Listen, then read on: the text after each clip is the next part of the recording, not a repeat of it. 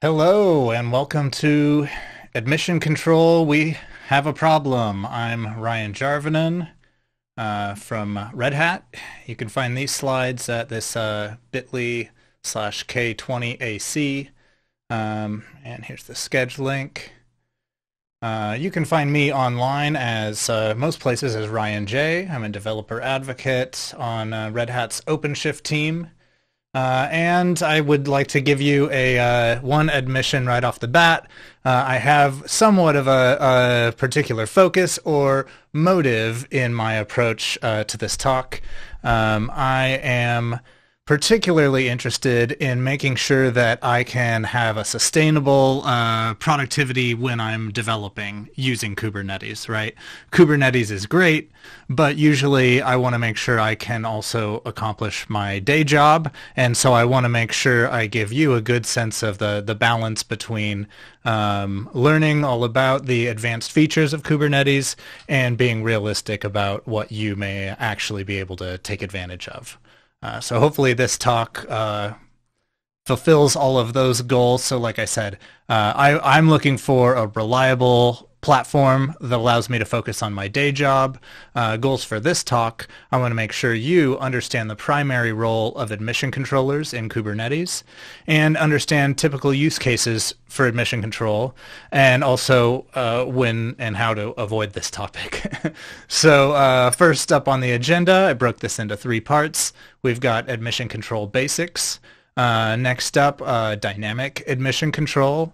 And then, uh, like I said, when and how to avoid this topic. Um, so first, admission control basics.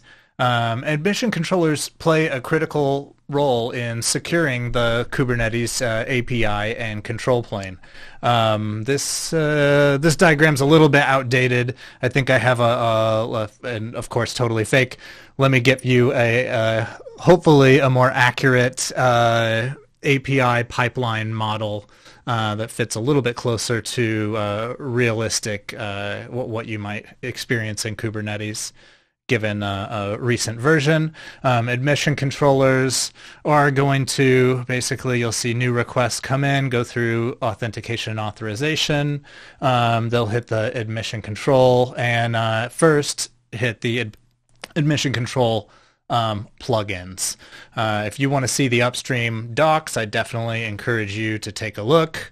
Uh, oh, I see a question from the audience. There's actually a list of questions I got, uh, uh questions and answers I got from reading this doc. So uh, is this why my operators and CRDs are failing to work correctly?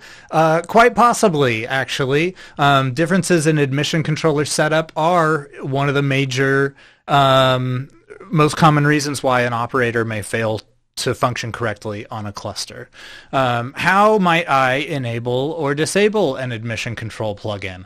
Well, it's uh, pretty s- uh, simple actually. You just use the enable admission plugin flag or disable admission plugin flag when you're starting up Kube API server as one does. Since we've all done Kubernetes the hard way, I'm sure we're all manually starting Kube API server.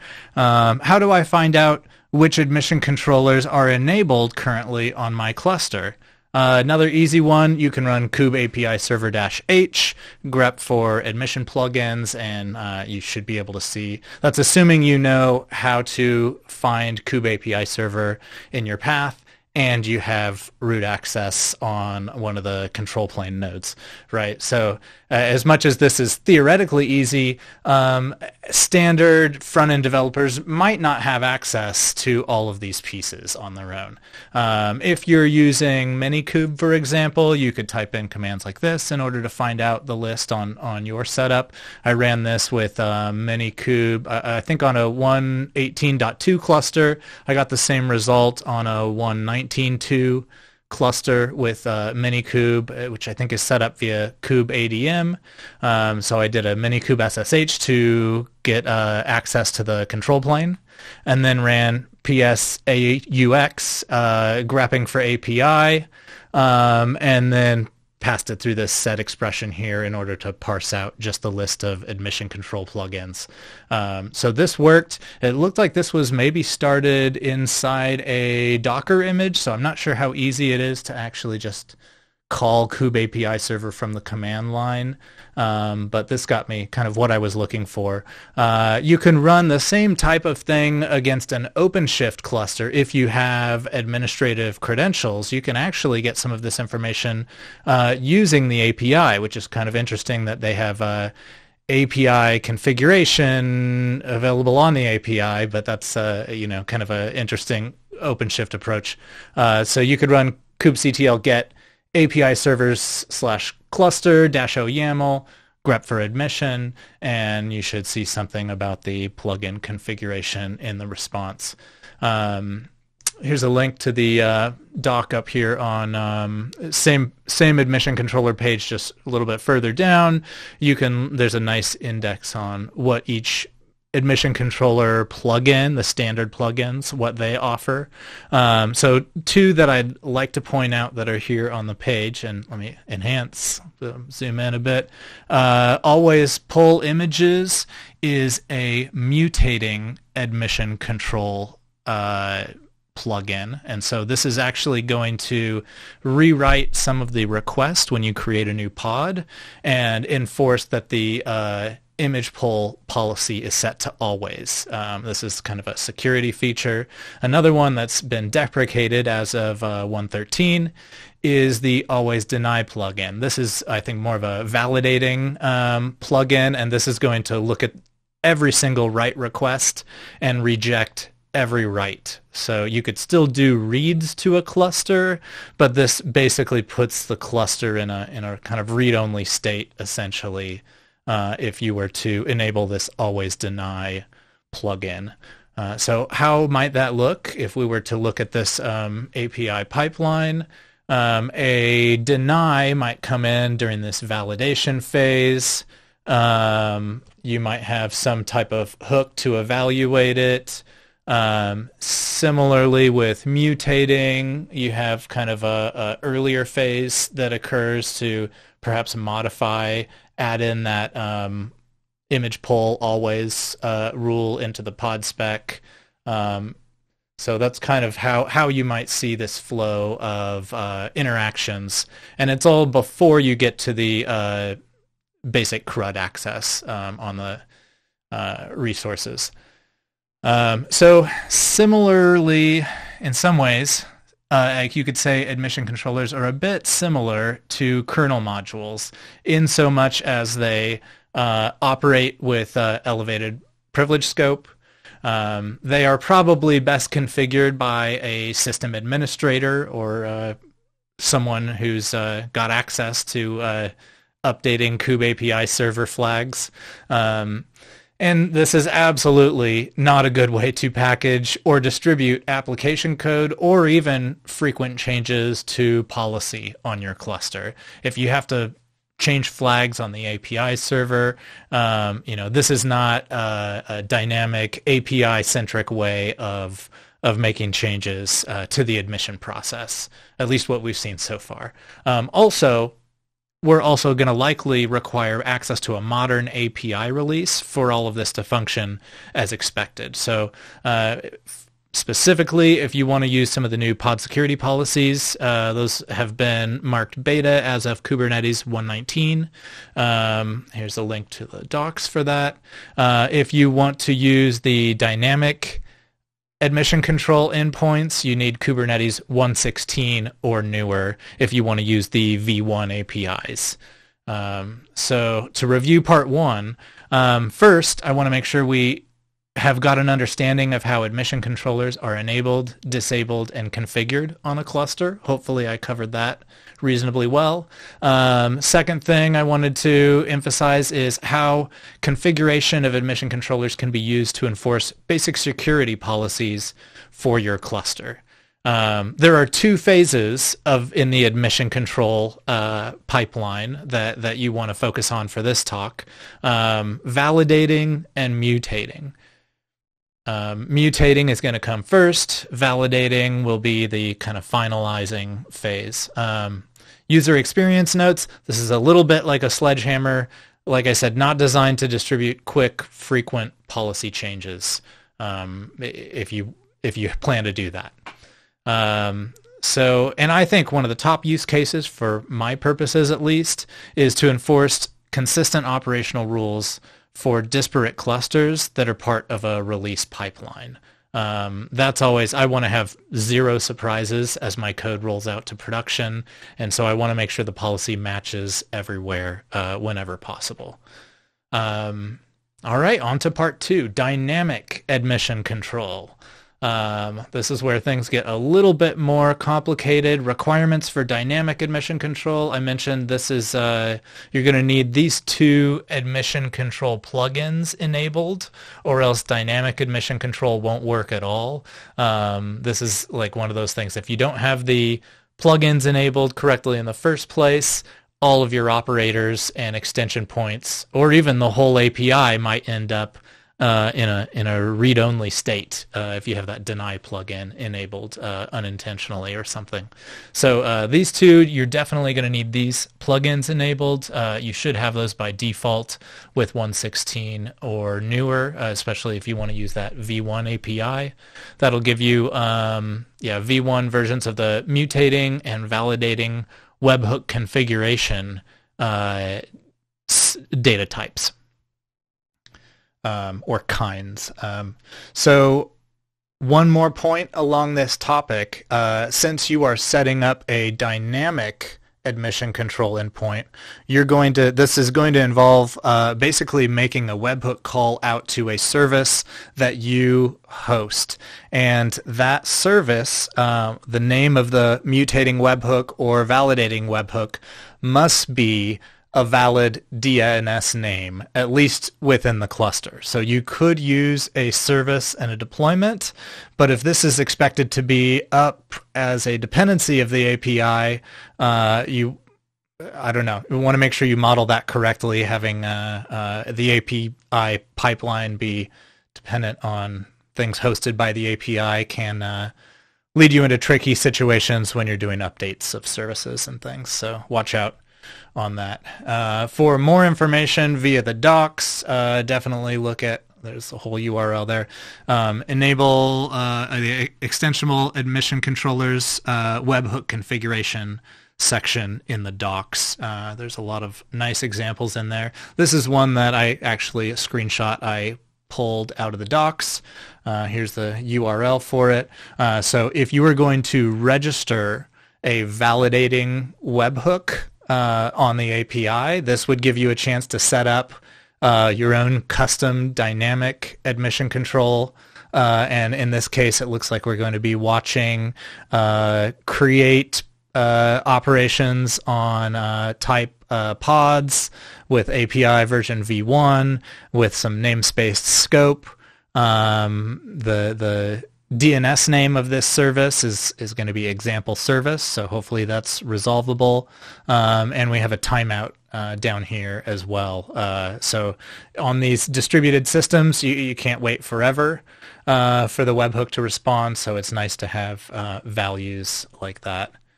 Uh, yeah, zoom in a bit on that. Um, so how would that look in the API pipeline? Um, like I said before, requests are coming in at the top uh, corner there. We're going to get our mutating webhook after it's been registered. This will make a call out to that service.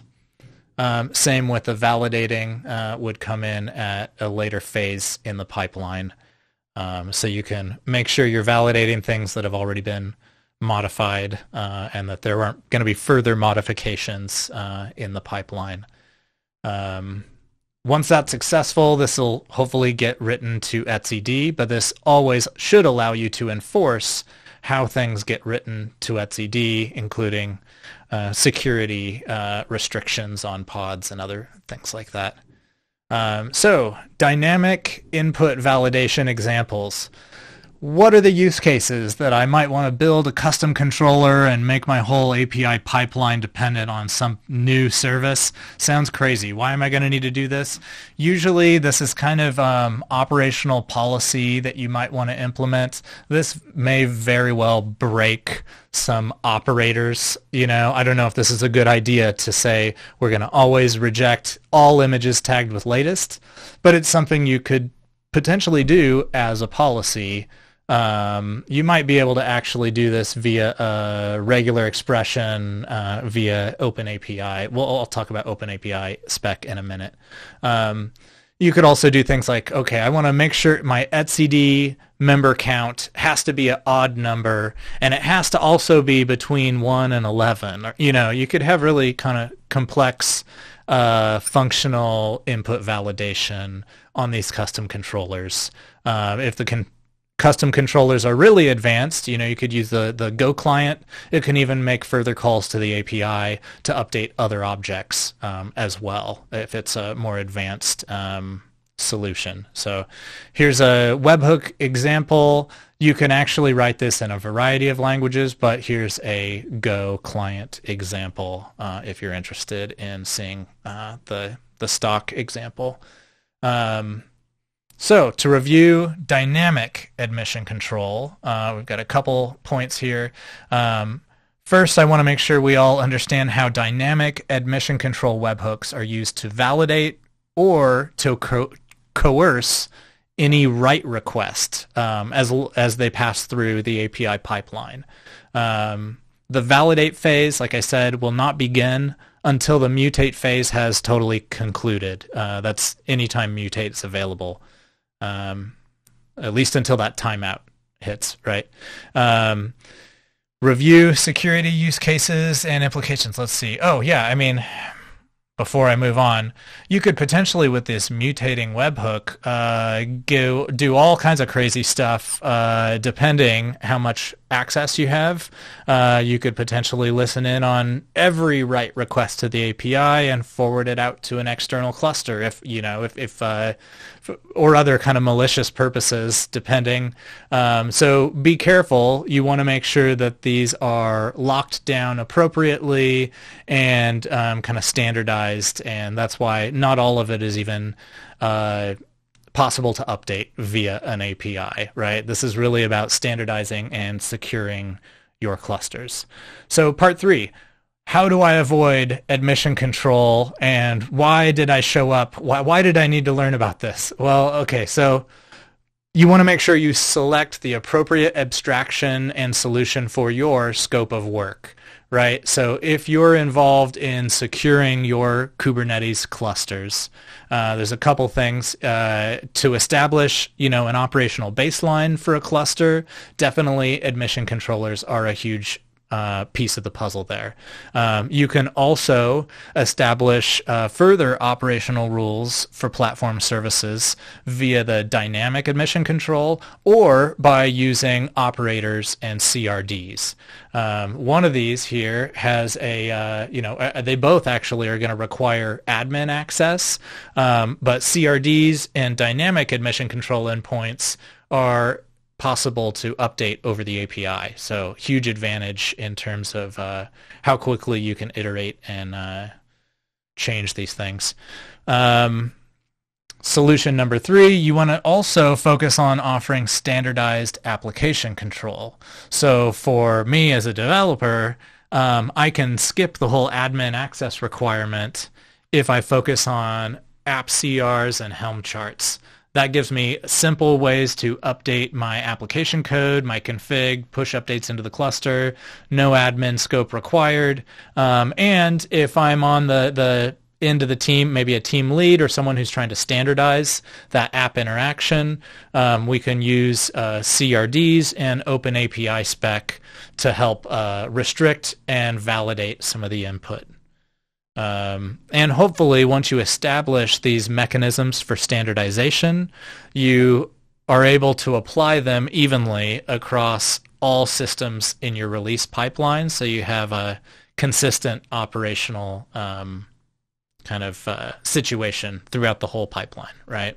No surprises for developers, um, maximize productivity uh, by minimizing uh, bad feedback. Um, So why sh- why should you learn about admission controllers? Honestly, the answer is so that other people on your team won't have to. Not everyone needs to know about this topic. If you're in the business of offering a standard interface to uh, junior developers or other other folks on your team, this is definitely something you want to make sure the the right person on your team gets this info and is able to standardize the experience for other folks. Um, should I avoid writing and maintaining custom controllers that may impact the operational reliability of the core platform APIs? Yes, whenever possible. Always avoid this if you can. Um, there are other solutions. Uh, should I use Helm or application CRDs if they're Yes, absolutely. Yes, use those instead if you can. Uh, like I said, if Helm's an option for you, use it, right? Um, if you are doing dynamic admission control or application CRDs, um, you can take a look at uh, Kube Builder, or actually more dynamic admission control, um, specifically uh, in Go. Um, you can start with a Go client, but if you want a more uh, modern tooling that'll help you build uh, CRDs as well, take a look at Kube Builder uh, for uh, development in Go. Um, we also have on the there's operator framework is another uh, option that'll allow you to develop in Go. Um, and it actually uses Kube Builder as of the 1.0 release of operator framework. So you hopefully get the best of both worlds. Um, Ansible is another option. You can import uh, Ansible uh, roles and uh, run them using an operator. Uh, also, you can import Helm charts um, and then make them available uh, using uh, CRs, CRDs. Um, both of these solutions, Kube Builder and Operator Framework, include support for using Open API spec for schema-based validation of inputs. Um, and here's one more link to that uh, Go client as a potential implementation option. Um, open API spec schema validation. So here's an example from one of my uh, team members. Uh, this is a custom resource definition. Uh, let me zoom in on this a little bit. Looks like we've got here, we could see there's a validation section, open API v3 schema. Uh, there's a couple things that we're, we're calling out that we're going to validate. Uh, if I scroll down, we can see here in the spec area, I'm looking for a value called size. That's an integer, and uh, size is required. It's not a super complex validation, and really it's just validating the schema more than the uh, values themselves, right? But this hopefully can be easily done using OpenAPI, um, and uh, that can be used regardless of whether you're using admission controllers or not. Any kind of act- interactions with uh, Kubernetes API, that's generally considered a, a best practice. Um, part three review. So uh, we talked about using application CRs and Helm charts as an alternative for uh, targeting developers. No admin permission scope required there. Um, using OpenAPI spec to provide schema-based input validation for custom resources. Um, you can use Kube Builder or Operator SDK for custom validation and translation of API requests. Um, hopefully, all of this together gives you a reliable distributed platform that allows you to focus on your day job, just like I am struggling to focus on my day job. Um, goals for this talk. Uh, hopefully, you've you've come away with a clear understanding of the role of admission controllers, typical use cases, and when to avoid it. If not, I'll do one quick recap. Primary role: you've got a request validator, request translator. Um, it's there to apply security, and you want to have admin access, right? Um, use cases uh, mostly, you know, security, uh, pod security policies are, are a new thing. Um, denying privilege, denying host path, host PID. You can do dynamic input validation, uh, more complex validation uh, using uh, those the tools I, I recommended, KubeBuilder or uh, Operator Framework. Um, and the goal of all this is to ensure consistency of your cluster and hopefully standardized policy between clusters in a pipeline. Uh, alternatives, uh, definitely developers stick with a Helm or application CRDs whenever possible. Don't muck up the API pipeline unless you really have to. Um, use Open API spec uh, to provide schema-based validation, and consider using uh, KubeBuilder, Operator SDK, Operator Framework, um, or evaluating a hosting provider that includes a strong set of admission control defaults and a clear plan for distributing updates. Uh, some of the testing I did was on uh, learn.openshift. That'll give you a, a free one-hour session on an OpenShift cluster if you want to see what the admission control policies look like on that system. Go ahead and give it a try. Um, here's a couple links to, to summarize and a couple talks that I found very inspiring. Go ahead and hit pause on your video if you're watching to get all those links. Uh, I don't have time for questions today. Uh, but take a look at the chat. I'll try to answer questions in chat uh, for the live folks. Thank you very much. I've, uh, my name's Ryan J. Ryan Jarvinen. Uh, look me up online. Uh, thanks all. Hope you have an excellent KubeCon. This has been Admission Control. We have a problem. Thank you all. See you next time.